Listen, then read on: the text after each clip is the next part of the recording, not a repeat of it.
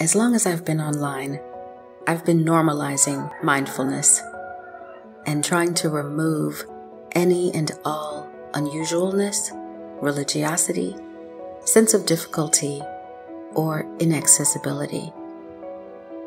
Mindfulness is a state of being and way of being that is owned by no one, while also being owned by everyone. It's deeply bothersome that such a primal and original way of being is mostly perceived as Buddhist, Eastern, or some other brand, ritual, or tradition. It's deeply bothersome that an inner art seems to require so much outer instruction, certification, regulation. But does it really? People hold a lot of unnecessary confusion about meditating right or not being good at mindfulness. I think this comes from the long-time veneration of outer authorities, both dead and alive. Over time, it amasses into lots of learned helplessness and self doubt about one's own inner landscape. I do reject the idea that you need highly precise instruction on how to know your own mind, on how to become the master of your own internal state. By describing meditative states that arise from mundane activity, I am demonstrating mindfulness and internal authority. And you are encouraged and empowered to do similarly right away.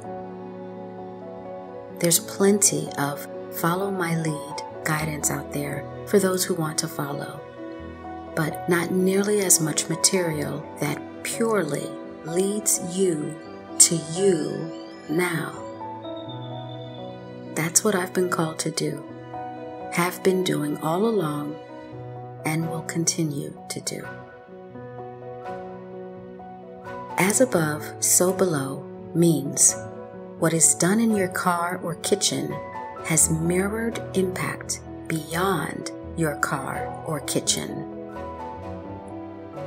So, this is how my multidimensional mopping unfolded.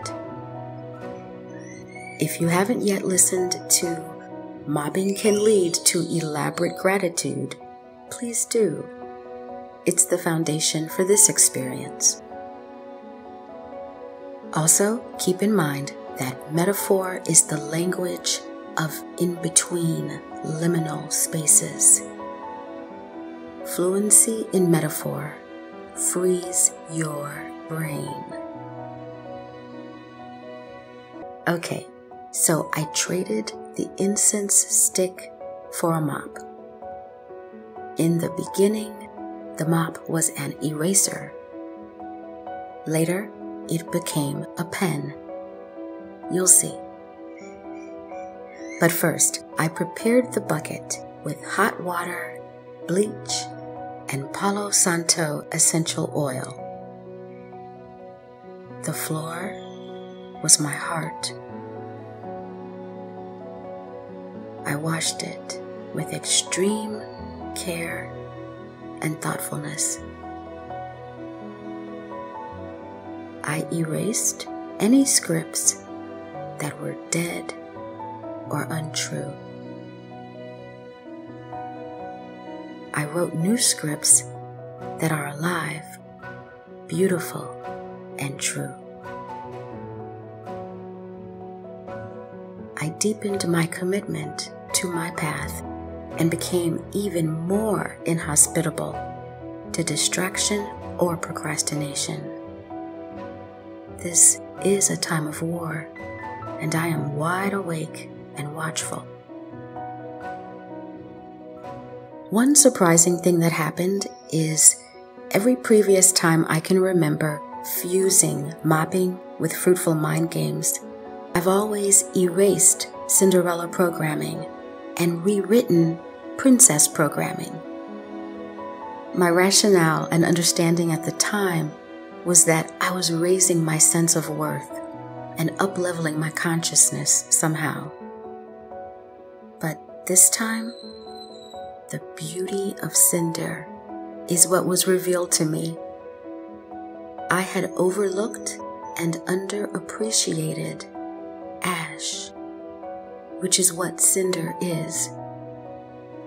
Cinder, the earth stuff that covered the cheeks of Cinderella, was the signature of her hard labor, scrubbing inside chimney walls.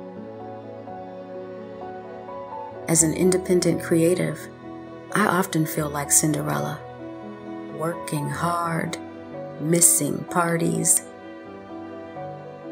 But during this mopping, I was reminded of how happy I've been in flip flops the past five and a half years. Glass slippers sound very uncomfortable.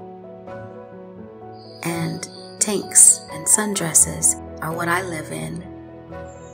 I don't want to go where gowns are required, or any formality for that matter.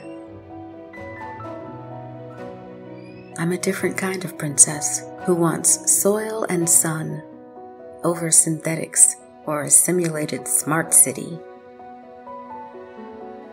Make peace with Cinder